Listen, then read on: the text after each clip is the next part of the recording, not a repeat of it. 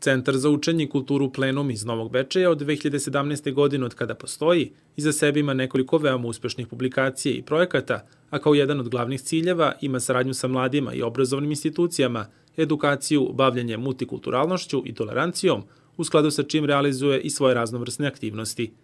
Poslednja u nizu jeste projekat pod nazivom Digitalna škola za sve nas, za koje je sredstva nedavno odobrilo Ministarstvo prosvete, nauke i tehnološkog razvoja Republike Srbije, a koji u fokusu ima obrazovanje za održivi razvoj, ističe Gordana Svilengaćin, članica ovog udruženja.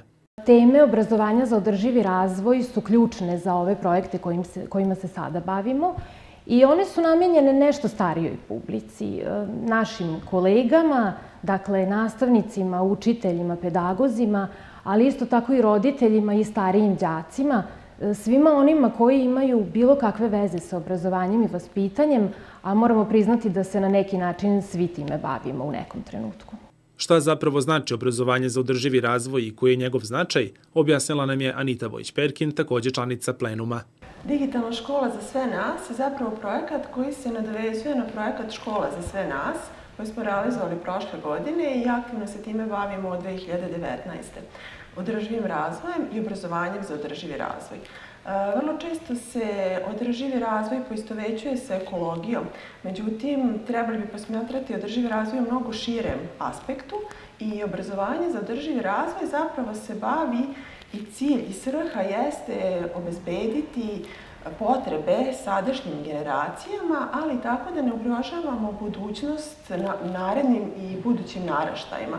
Odnosno, smisao obrazovanja za održivi razvoj jeste da u isto vreme se usklade potrebe i ekonomske, i socijalne, i kulturne, ne samo ekološke sadašnjice i na isti način da se one omogući i budućim generacijama.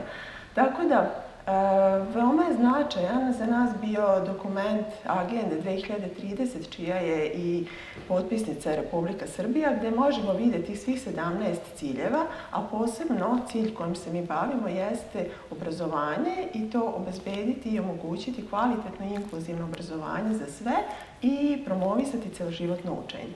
Članice Centra Plenum nastoje da kako svojim učenicima, tako i svojim kolegama predstave i savremene modele nastave, među kojima je i zanimljiv koncept obrnute učionice, koji nam je bliže pojasnila Gordana Svilengaćin. Obrnuta učionica je jedan novi savremeni model i e, nama se učinio interesantnim i mi smo zbog toga želeli da mu posvetimo više pažnje. E, ja bih samo spomenula jedno poređenje pre nego što objasnim e, obrnutu učionicu.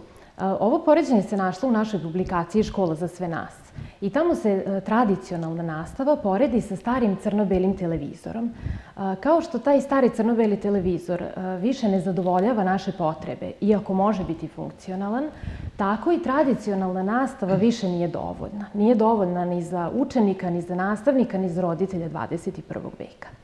E dakle, ako već treba da se pomerimo, da, da, da usavremenimo tu tradicionalnu nastavu, jedan od načina da to uradimo je da primenimo model obrnute ili izokrenute učionice.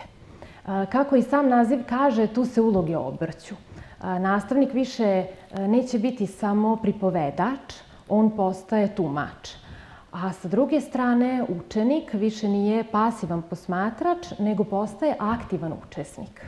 Reč je o tome da nastavnik učenicima daje određeni materijal kojim se oni bave kod kuće. Taj materijal može biti primarna i sekundarna literatura, mogu biti različiti podcasti, dakle, postoji široka lepeza u zavisnosti od teme i nastavnikovih želja, taj materijal se bira. Zatim učenik kod kuće proučava taj materijal i na taj način savladava gradivo, a vreme koje je dato na sledećem času može da se iskoristi za utvrđivanje gradiva, za odgovaranje na pitanja, za razjašnjavanje nedoumica. I samim tim e, učenici se podstiču da sami istražuju, da razvijaju svoje kritičko mišljenje, e, da, da, da zauzimaju neke stavove za koje će imati dobre argumente. Aktivnosti projekta Digitalna škola za sve nas mogu se pratiti putem sajta digitalnaškola.net, ali i preko profila na Facebooku i Instagramu koji nose naziv Škola za sve nas.